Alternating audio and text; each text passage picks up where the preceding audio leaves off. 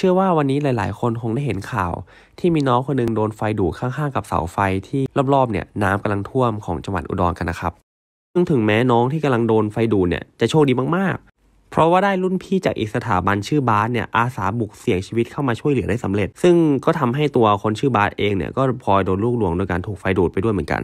ซึ่งจะเห็นได้จากซีนนี้เลยนะครับที่น้องบาสเนี่ยทั้งมึนทั้งชาจนแทบลุกไม่ไหวแล้วครับ ซึ่งก็ต้องเป็นโชคดีของน้องบาสนะครับที่กระแสไฟเนี่ยไม่แรงมากทำให้น้องเนี่ยรักษาได้อย่างรวดเร็ว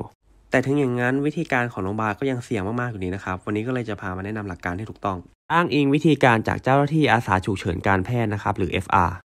ข้อแรกเลยนะครับ ถ้าไม่จำเป็นผู้ช่วยเหลือเนี่ยอย่าไปลงน้ำเด็ดขาดเลยนะครับ เพราะเราไม่มีทางรู้เลยนะครับ ว่ากระแสไฟตรงนั้นเนี่ยจะเบาหรือจะแรง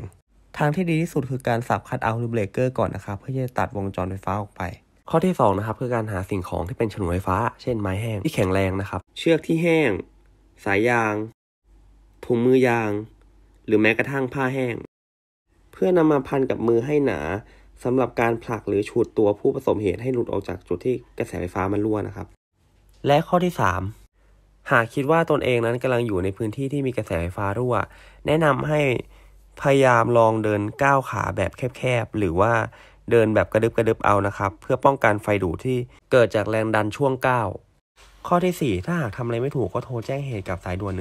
1669 หรือติดต่อ 1129 เพื่อแจ้งเหตุกับทางกฟผได้เลย